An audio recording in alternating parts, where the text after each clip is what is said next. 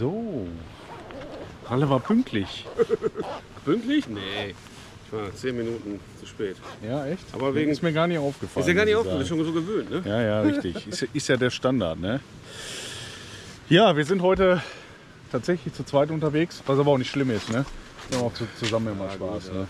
Eher ungern mit dem Mitch, aber ausnahmsweise mal. Marcel ist krank, Basti wurde gestern vom Hund gebissen, Ole ist auf dem Dienst, äh, Ingo wird an der Hand operiert oder wurde schon, ich weiß es gar nicht. Nee, kommt noch, glaube ich. Kommt noch, ne? oder? Ja, warum ist er denn heute nicht mitgefahren? Ja, oder darf nicht? Ich weiß nicht. Fall geht's Ah, irgendwie okay, okay, okay. Äh, wen haben wir dann noch? Lars ist gestern gefahren, der ist heute auf dem Weihnachtsmarkt mit seiner Kleinen. Äh, nicht. Marcello schwächelt. Marcelo schwächelt, genau. Ja, wie gesagt, macht nichts. Wir werden trotzdem unseren Spaß haben. Und heute werden wir auch noch mal ein bisschen auf mein neues Levo eingehen. Das habt ihr noch gar nicht gesehen. Jetzt gleich mal ein bisschen was einblenden. Machen wir eine kleine Aufnahme im Wald. Ne? Ich habe nichts vorbereitet. Aber wie ihr wisst, ist auf unserem Kanal ja nichts Neues, dass mal ein neues Bike vorgestellt wird. Deswegen machen wir kein großes Trara raus. Ne? Also, wir sehen uns. Aber wir bei das immer New Bike Week, ne? So. ja, ja, genau, Months, richtig. Months, ne? ne? Ja, Bike für 2023 seht ihr gleich. Bis gleich. Alle sechs Monate. Ja, Freunde, Specialized Levo Frame Kit, Custom Aufbau tatsächlich. Viele Gebrauchteile dran. Mir war halt wichtig, ähm, ja, möglichst, äh, wie soll man sagen, ähm, ja, das beste Preis-Leistungsverhältnis zu bekommen. Was soll ich sagen? Ist so. Und vor allem mal wieder ein neues Bike endlich, ne? Ja, ja, Schon lange es hat, her. Es hat einfach keinen Sinn gemacht, ein Komplettrad zu nehmen, weil ich einfach nur so viele Teile da hatte und ja, Specialized Levo. Und wie Qua- fühlst du dich? Ja, ist jetzt quasi die, heute die zweite, zweite wirklich richtige Tour, kann man so Ich bin schon mal ein bisschen auf der Halde rumgefahren, eine Tour mit euch. Jetzt heute mit dem Ralle. Ich werde auf jeden Fall mal so ein bisschen Feedback geben nachher, vor allen Dingen auch im Vergleich zum Rocky. Also was ich auf jeden Fall jetzt schon sagen kann, ist halt, ähm, ich komme im Sattel weiter runter. Das ist für mich persönlich sehr, sehr wichtig. Ich habe jetzt hier 180 mm Hub bei 1,75, kriege ich hier voll rein. Kann hier voll tief sitzen, kriege vernünftig die Beine auf dem Boden.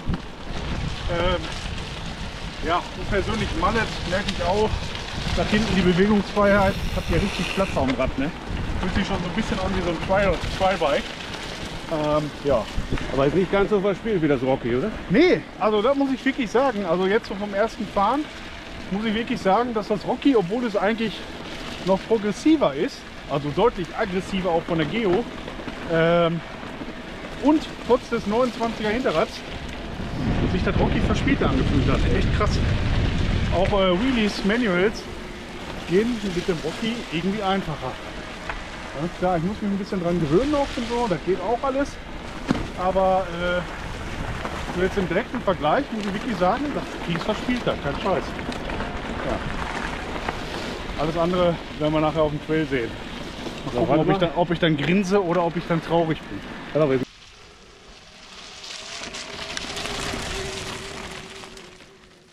Erste Mini-Duellabfahrt heute. Nee, ist gut. Ja. Was? Du?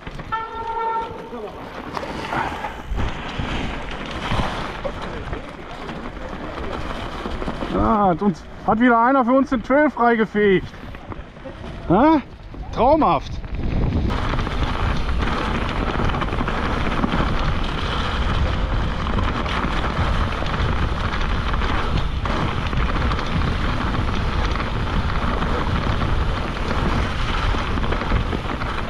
Ah, die Augen tränen wie Sau. ey.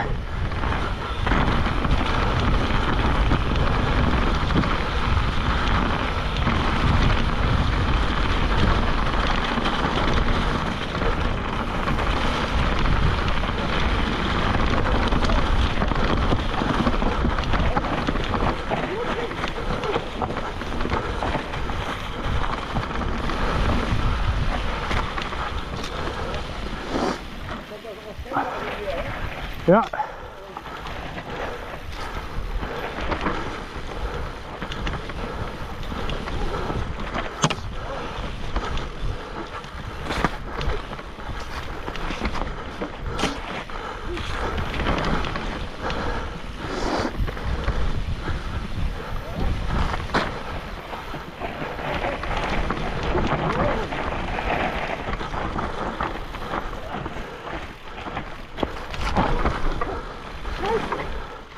Ja, ich glaube, das können wir schon sparen hier. Weil das ist. Aufklemmen. Ja, ja, das ist, machen wir nur einen Trail im Arsch mit. Aber geil in dem Schnee, ne? Ich hab hier so den Weg, aber das sieht auf der Cam richtig geil aus.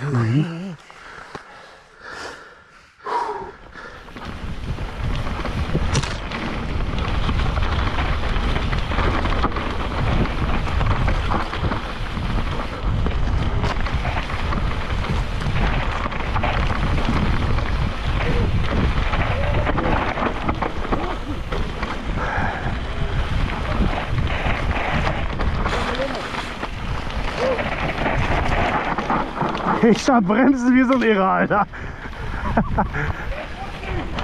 Laufen lassen, Junge. Was ist denn hier? Das ist neu.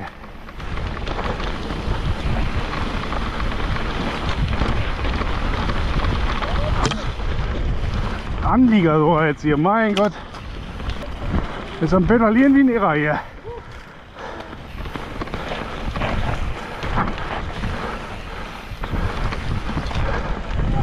Das sage ich ganz ehrlich, hier ist das Rocky wendiger gewesen, obwohl ich noch nicht mal in der flachen Position bin.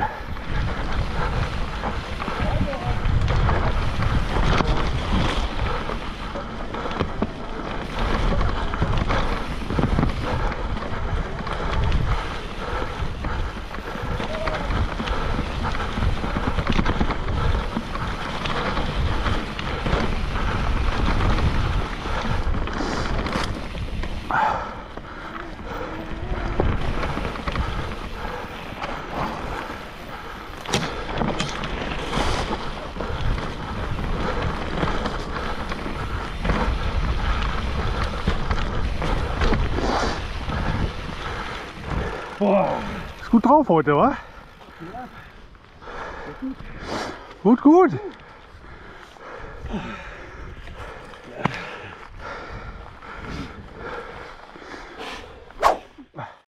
So, die ersten Bilder vom neuen Rad.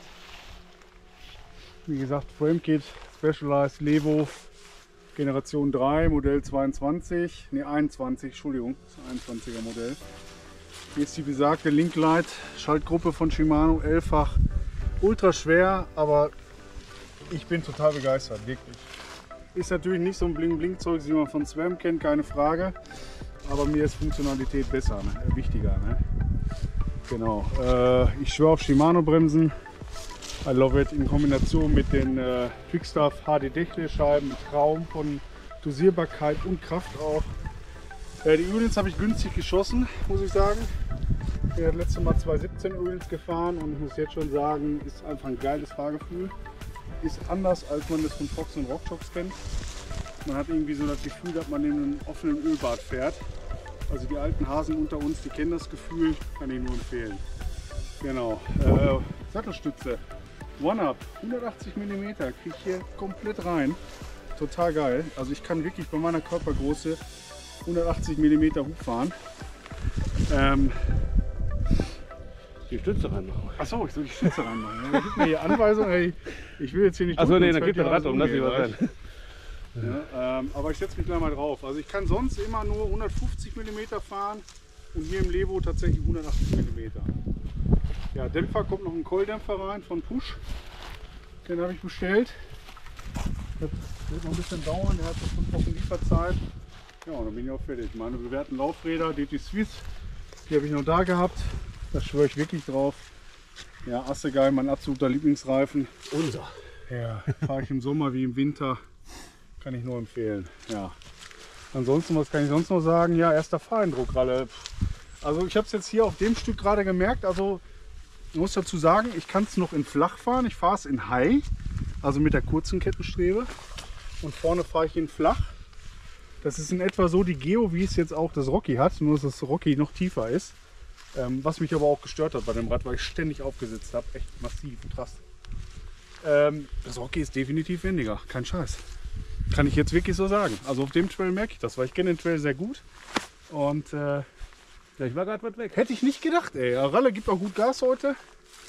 Äh, ja, schauen wir mal. Muss noch ein bisschen warm werden. Aber ansonsten super leise, Motor ist schön. Schick ist es. Ja, auf jeden Fall. Gefällt mir auch mittlerweile. Die Farbe muss ich Könnt ihr mal in die Kommentare schreiben. Ich habe vorhin gesagt, mit dem Gelb der Ölins, Ach so, ja, sollte ich eigentlich cool. weiß werden. Ne? Die Ich find's cool. Hier. also das Gelb mit dem, wenn es immer Max ist, bleiben mit Gelb. Finde ich, guck mal hier, wir haben da unten Gelb, wir haben hier Gelb, wir haben da oben Gelb, so ein paar kleine Farbtupfer. Ist eigentlich cool, ich mag's. Ich würde es lassen. Schreibt doch mal rein, was ihr sagt. Vielleicht muss ich mal einen Spacer noch runtergehen. Aber ich habe tatsächlich so ein paar Vorderradrutscher gehabt. Ich weiß nicht, wie sieht es bei dir aus? Ist Ja. ein? Doch, schon, aber besser heute als letztes Mal Ja. vor zwei Wochen, wo ich da komplett abgefuckt bin. Ja. Also ich habe heute eigentlich ganz gutes Gefühl mit dem ACG, obwohl der zu Das war ist. so ne? peinlich, dass ich, dass ich kein Video darüber gemacht habe, weil wir wollen den Rallye ja nicht vergraulen. Ich war so scheiße. Ja, ansonsten, ich schwöre auf die ganzen mechanischen Komponenten. Ihr seht, ich habe überall Leitung, ich habe Kabel. Dieses ganze Elektrogedöns brauche ich am Rad nicht. Muss alles günstig ersetzbar sein. Ja gut, hier habe ich, Sauber ein bisschen, habe ich jetzt ein bisschen, aber das Ja, wollte aber ich. sauber verlegt. Ja, guck mal, hier ist natürlich immer Specialized auch, finde ich halt immer geil bei den Motoren für Specialized. Display hier drin, Mini Remote hier. Hat Bosch jetzt ja auch gelernt, muss ich mal kurz hier einwerfen. Ne? Bosch Besser hat jetzt auch mit Remote. Das war mit- früher mit der Horror. Ne? mit diesem hier, warte mal ganz kurz Vergleich, wer es nicht kennt, aber kennt jeder. Das ist Bosch hier, riesig, riesig. Braucht keine Sau. So, ich setze mich nochmal drauf und dann machen wir mal eben einen Spacer Ja. runter. So, damit ihr auch seht, was ich meine. Weil ich habe wirklich, ich habe ein gutes Verhältnis zu Bein und Oberkörper. Das ist bei mir sehr ausgeglichen. Aber ich bin halt kein Riese, ne? Und guckt euch das an. Ich kann schön so geil mich ins Rad setzen. Richtig satt auf dem Boden. Ne? Wenn du jetzt mal irgendwie ins Trudeln kommst oder so, ich kann mich super geil abfangen. Ähm, das habe ich zum Beispiel bei dem Kenevo SL nicht gehabt, ne? Also ich finde das echt wichtig. Hä? Diesen tiefen Sattel finde ich extrem wichtig. Ich auch. Für mich wirklich ausschlaggebend. Ja, also es gibt viele Bikes, die können das nicht. Ja, wie das Kinevo SL. Obwohl ich den S2 gefahren bin, ne? Ja. Und das ist mir so wichtig, wirklich. Oder auch das Rotwild, ne? das hat glaube ich auch so, einen riesen, so eine riesen Strebe oben, es total hoch geht. ja. Kommt auch nicht richtig runter. ja, ansonsten. Mach mal hoch, Fahrposition bei dir. Ja, Ist schon ein ordentlicher Brello, ne? ja. Ich bin sagen, 180 mm hoch. Konnte ich 180. bis jetzt noch nie fahren, ey. Da bin ich richtig, richtig glücklich drüber. Also die One-Up-Sattelstütze kann ich auch nur empfehlen. Ne? Die kostet 200 Euro. Äh, und du kannst den Hub variieren. Wenn du jetzt einen 150er kaufst, kannst du bis 120 reduzieren in 10er Schritten. Wenn du eine 180er kaufst, kannst du von 180 auf 150 runtergehen. Und wenn du eine 210er kaufst, kannst du von 210 auf 180 rübergehen. Das heißt also, wenn ihr irgendwo zwischen den Größen seid, das die perfekte Sattelstütze. Und die ist auch noch leicht und kurz. Ja. So Freunde, ich habe jetzt mal den Vorbau 1 Spacer, also 5 mm tiefer gesetzt. Ah. Schauen wir mal, ob ich es jetzt schaffe, am Rallerand zu bleiben. Er ist heute ganz schön flott unterwegs. Autobahn kann man hier sehen. Ne? Ja, Okay, okay, nice to dirty. Pause. I'm ready.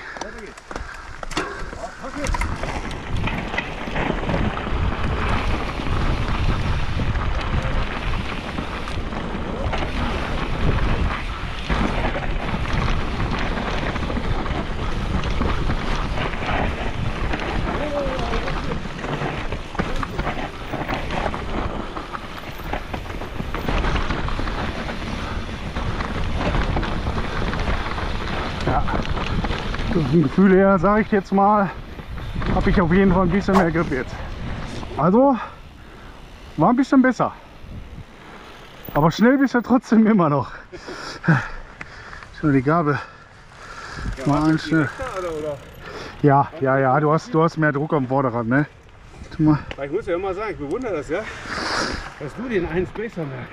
Ich merke Ich das. glaube, ich kann meinen ganzen Tunnel wegnehmen, ich merke nichts. Ah, doch, das merkst du, ey. Also entweder ist der Brose schlapp oder ich bin schlapp, ey. Der fällt mir schon wieder weg. Was ist mit dir heute Morgen? Hast gut gefrühstückt?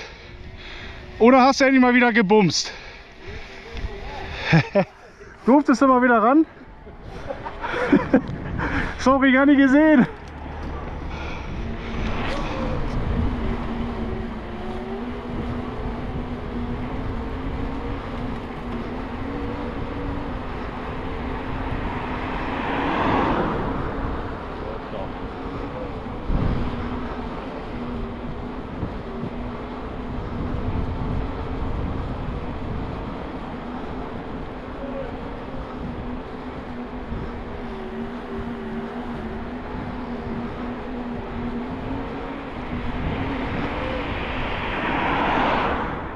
Er fliegt die Berge heute hoch. Scheiße, er habe ich mich verkauft, hätte ich doch mal einen Bosch genommen war. so, den linken fahre ich jetzt mal vor und den rechten fahre ich hinterher.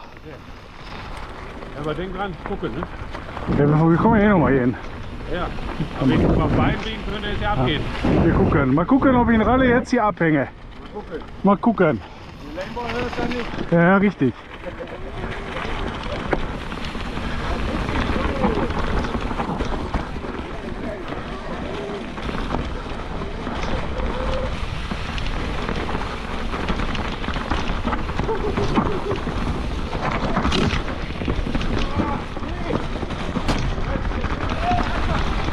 Was ist? Alles gut? Ja, alles gut, alles gut. Ach so. Ah, jetzt der Flow weg.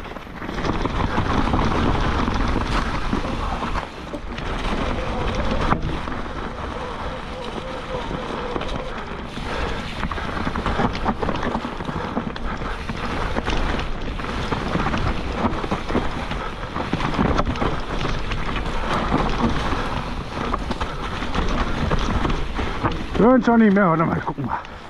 Ah, da ist er.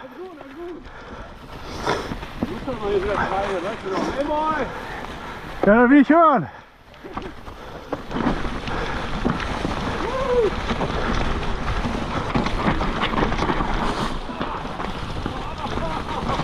Alles gut? Alles gut? Bist du da? Ja, ja, heute ist gut. Heute ist gut. Good conditions.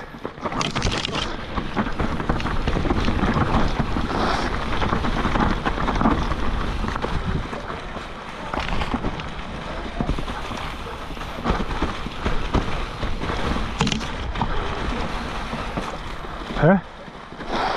Hier ist aber anders. Neue Line. Das ist neu.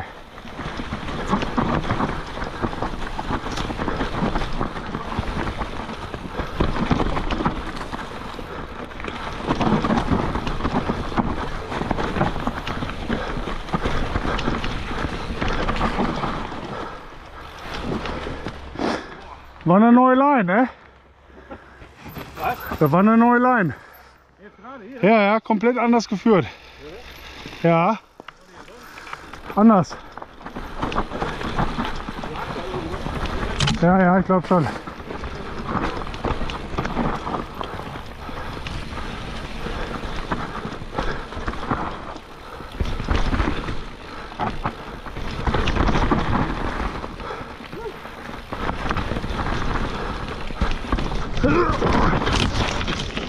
Ey, habe ich mich letztes Mal, ich habe noch drüber nachgedacht. Habe ich letztes Mal auch gehabt. Warum hat ihr drauf gebremst oder was? Nein. Was war denn los? Ja, drauf weggerutscht mit dem Vorderrad. Ja, aber auf dem Ding. Ja, auf dem Holz. Ohne Bremsen. Ja.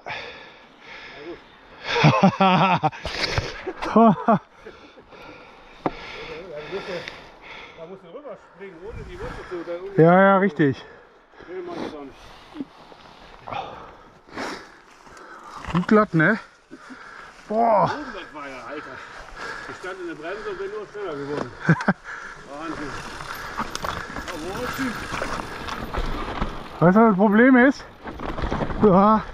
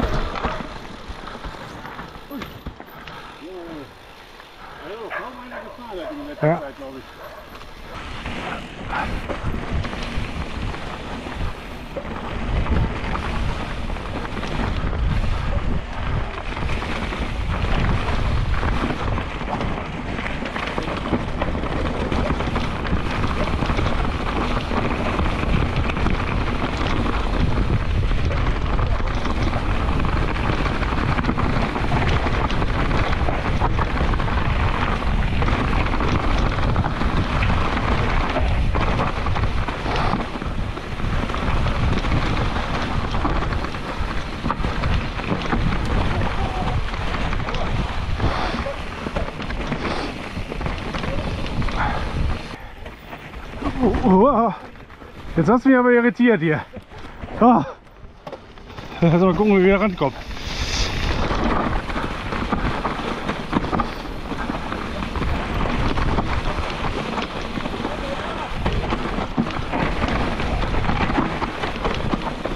Wir sind schon bekloppt, ey.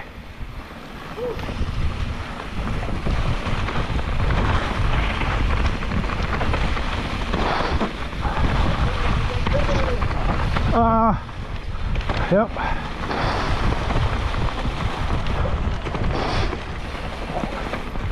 Ja. Das ist auch so ein geiles Ballerstück hier.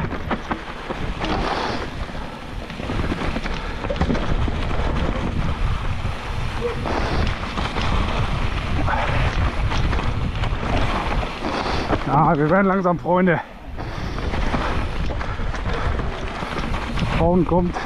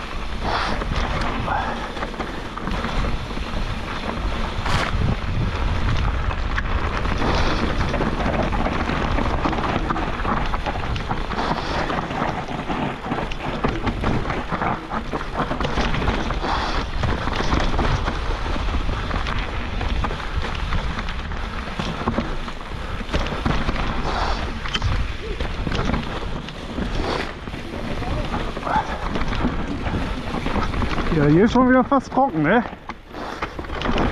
Oh. Ah. Abgezogen. Wie läuft so die Schnoller hier runter, ey?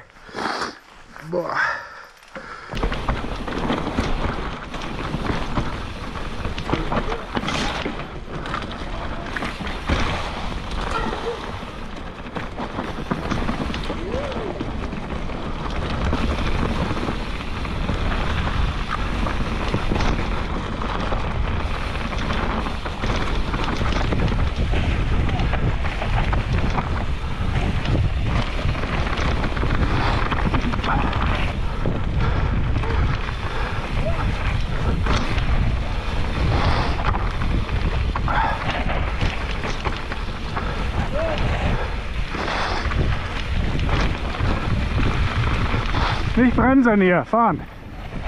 Ah.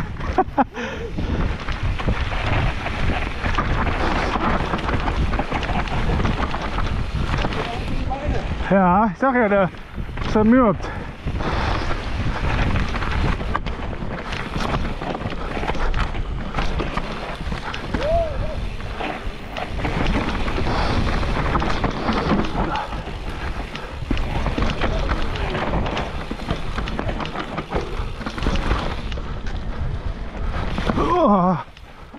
hast du mich fast gekillt.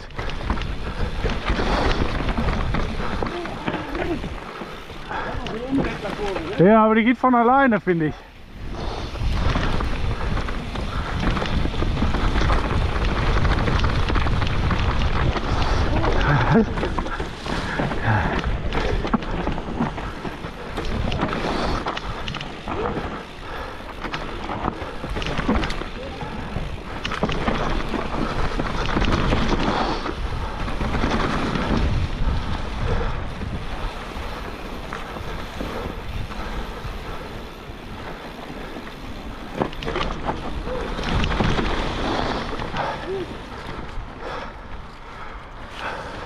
Ich hätte gerade tatsächlich ein Bremsfingerproblem.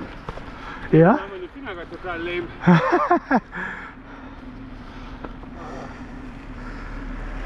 Ah. So. Schnelles Outro, wir sind echt durchgefroren. Ja. Haben jetzt gerade hier noch von den Locals ein Leckerchen Bierchen verpasst bekommen. Das war nice. Ja, aber war kalt. lecker. Aber kalt. Ne? Bierchen schmeckt besser, wenn es wärmt. Die machen mal warmes Butterbier, glaube ich, bei so einem Wetter hier. Ne? Genau, genau. Ja. Fazit zum Levo. Ähm, macht Spaß. Äh, wir werden langsam Freunde. Freunde. Ähm, ja, ähm, demnächst äh, wird es öfters mal ein Video zum Levo geben. Ne? Und das vor allen Dingen im Doppelpack, weil Marcel fährt ja auch ein Levo. Hier, Levo. Genau, wir sind die Levo Brothers. genau. War auf jeden Fall richtig cool. Also hier, trotz nass, trotz Schnee, ich fand's gut. Wir haben richtig gut Grip gehabt. Wir konnten Ja, richtig ja, geil auf fahren. jeden es Fall. Richtig Spaß gemacht. gehabt, auf jeden Fall. Also Ja, Space habe ich nach unten gesetzt, mindestens auf 15 mm, dann Vorbau. Ähm, ja, hat es echt gebracht. Ähm, Gefühl war auf jeden Fall viel, viel besser. Und ähm, ja, demnächst wird es auf jeden Fall noch mal ein großes Fazit geben. Halle, hast du noch was zu sagen? Ist kalt. Bis bald. Ciao.